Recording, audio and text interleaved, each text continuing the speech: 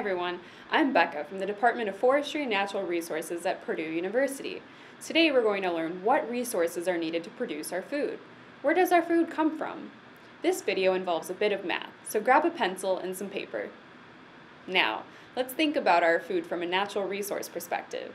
Natural resources are materials that are found in nature and can be used for economic gain. So if we use all of them, we can run out. Water and land are examples of natural resources. What natural resources do you think are needed to make a simple breakfast of eggs and buttered toast with a glass of milk and a glass of orange juice?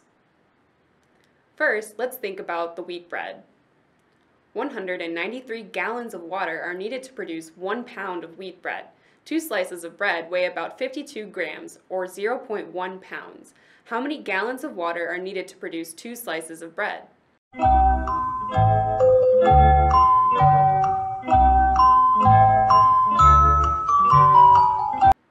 Yeah, 19 gallons of water. That's equal to about four water dispensers. We use a lot of land to grow wheat.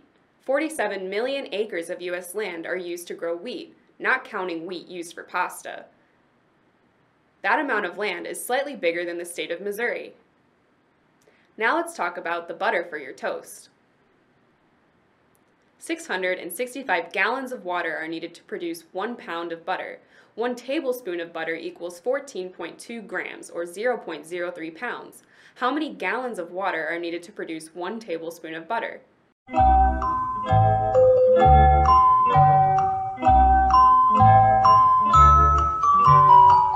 Yeah, 20 gallons of water. That's equal to one 20-gallon fish tank.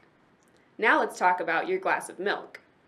122 gallons of water are needed to produce one pound of milk.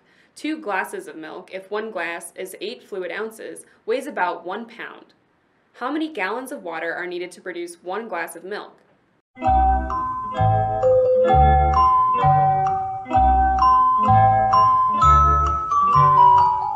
Sixty-one gallons of water. That's about the same as a large bathtub. That's quite a bit of water. Wow. Milk, for drinking or for things like butter, cheese, yogurt, and ice cream, uses a lot of land. 33 million acres of U.S. land are used for dairy production. That's slightly bigger than the state of Alabama. Now let's talk about your orange juice. 13.8 gallons of water are needed to produce one orange. About four oranges makes 8 fluid ounces of juice, or one glass. How many gallons of water are needed to produce one glass of orange juice? 55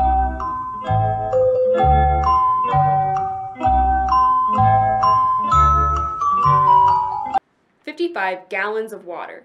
That's equal to about one rain barrel. About 642,800 acres of U.S. land are used to grow oranges.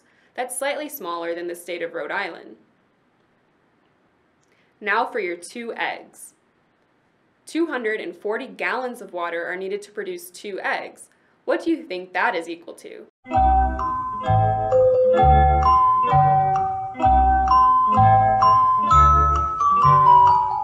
Great answers. 240 gallons of water could fill four large bathtubs.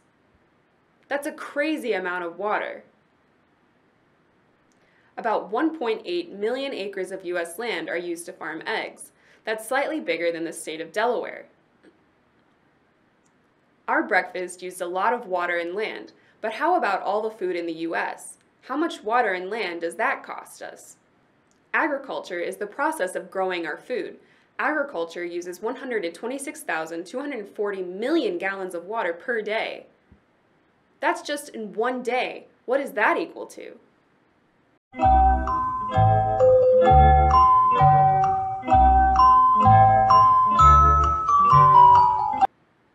Equal to 191,148 Olympic-sized swimming pools, or 126,240 water towers.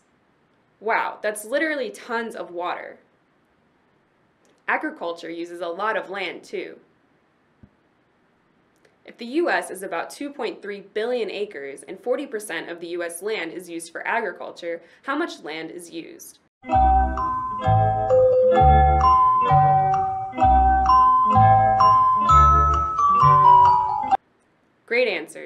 920 million acres of U.S. land is used for agriculture. That is equal to the size of Texas, California, Montana, New Mexico, Nevada, Colorado, Wyoming, Oregon, Washington, Florida, Idaho, Utah, and Indiana combined. Thanks for watching this video and enjoy playing the Farming for You game. See you next time.